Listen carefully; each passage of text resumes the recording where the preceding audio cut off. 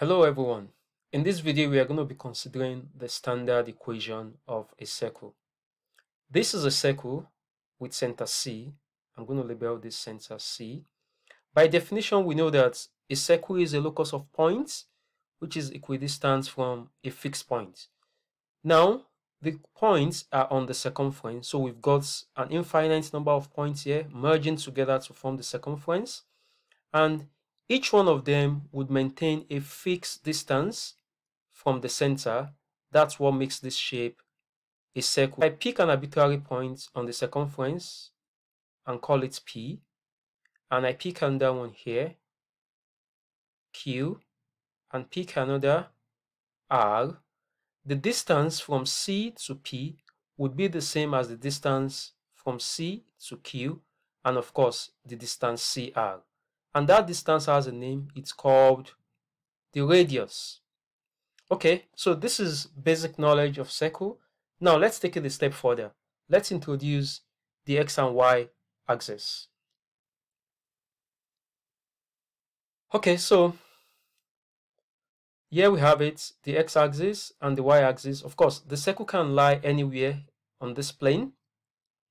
Now we would see that having obtained points P, Q, and R, having labeled those points, I can obtain the coordinate of each of these points by just tracing to the x-axis. So I'm going to call this x1.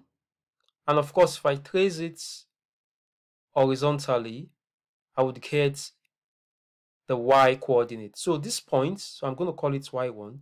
So this point P has coordinates x1, y1. I can do the same for Q. I'm going to use under, under color.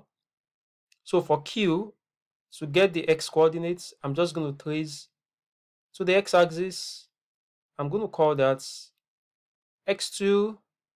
And to get the y coordinates, this is y2. So the coordinate of Q is x2, y2. Similarly, I can extend the same argument to R.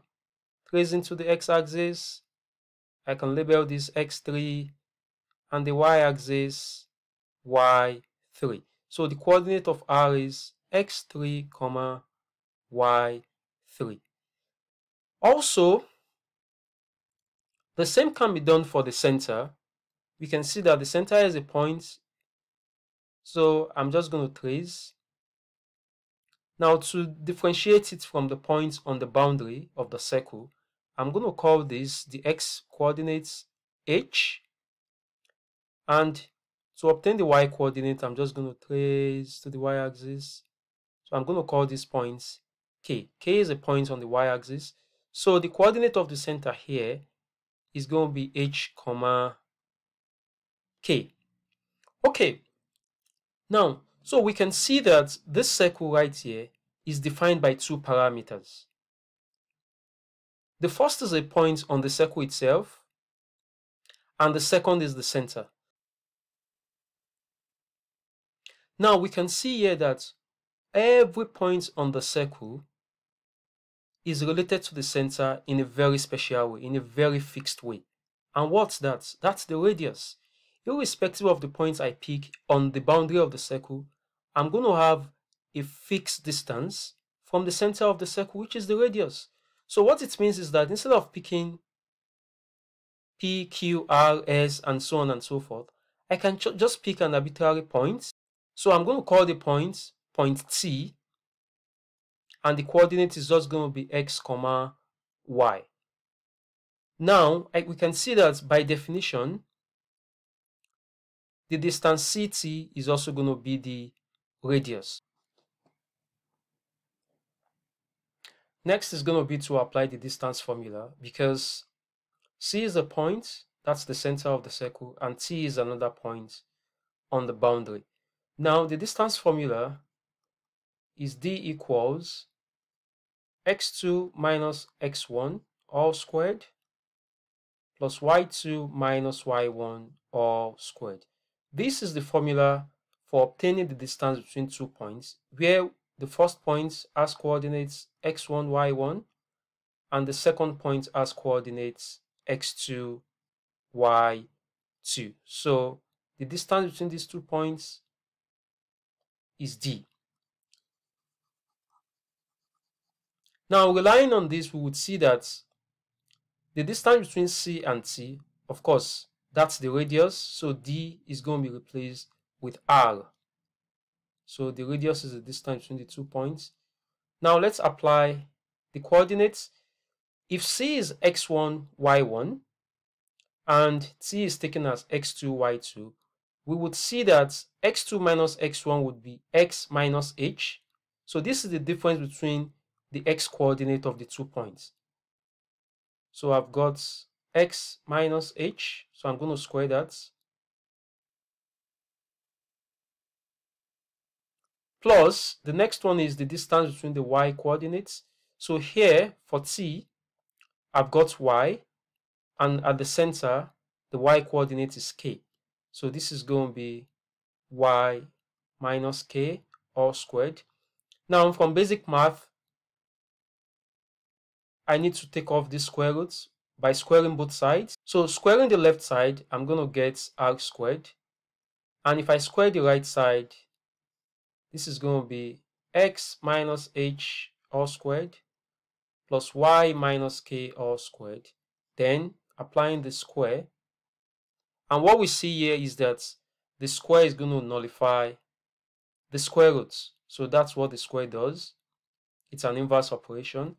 So on the left, I've got r squared, and on the right, x minus h all squared plus y minus k all squared.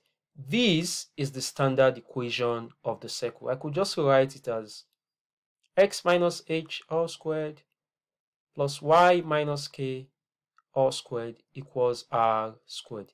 This is the standard equation of a circle with center at h comma k and the radius of r.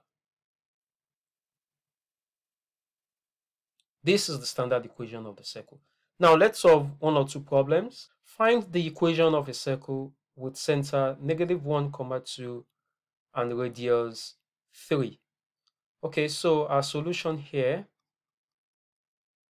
we are given the center of the circle and of course, the center of the circle is h comma k here.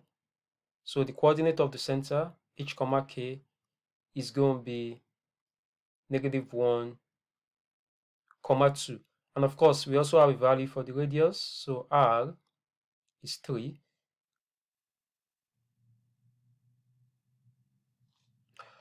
Okay, we know that the standard equation of a circle is x minus h all squared plus y minus k all squared equal to r squared. So this is the coordinate of the center, h comma k equals negative 1, 2. So I'm just going to replace h with negative 1. So I've got a minus here. Now h is negative 1. So I'm going to be having minus minus. So all squared. Plus y minus. Now k is a positive 2. So this is just 2 squared equals the radius is 3 so I'm going to replace r by 3 so this is 3 squared now negative negative is a positive so this is going to be x plus 1 all squared plus y minus 2 all squared is equal to 9 this is the equation of a circle centered at negative 1 comma 2 with a radius of 3. Okay, another one. What is the coordinate of the center and the radius of the circle? X minus 2 all squared plus y minus 1 all squared minus 25 equal to 0. The first thing we are going to do here is to write out the standard equation of the circle. And from the previous slide, we know that that's x minus h all squared plus y minus k all squared equal to r squared. Now we're going to see that the equation in red looks very much like the equation in blue. All we just need to do is just play around and the first thing we can do here is we can just move 25 to the right. More thing, this is r squared. It's a square number. I have a square. We can see that 25 is also a square number.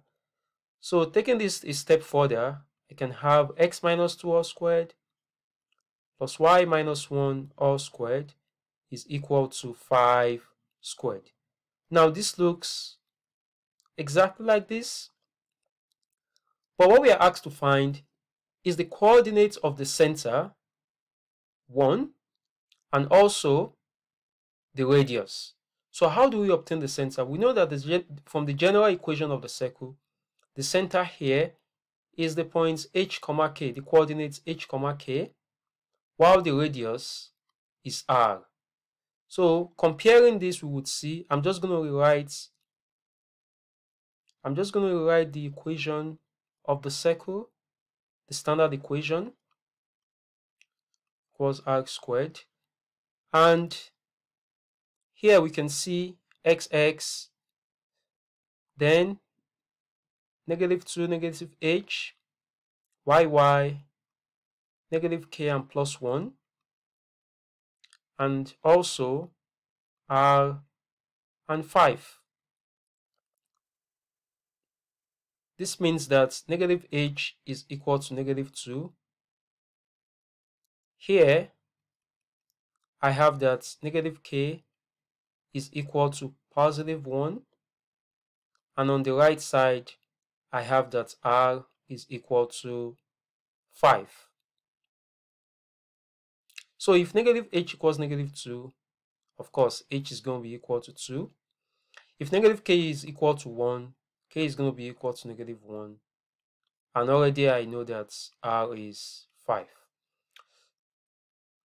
In conclusion, the center of this circle, h comma k, is 2 comma negative 1 and its radius r is equal to 5.